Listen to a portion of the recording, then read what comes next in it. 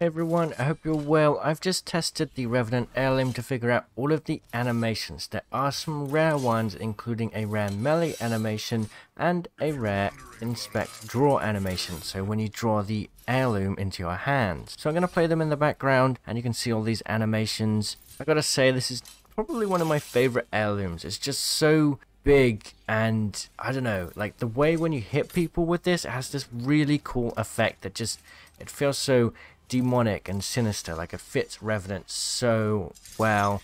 To me, it's not always about like the design, but the animations, the sounds, and the effects too. And I don't know, it's why I like Lifeline's so much as well. Lifeline's was my favorite.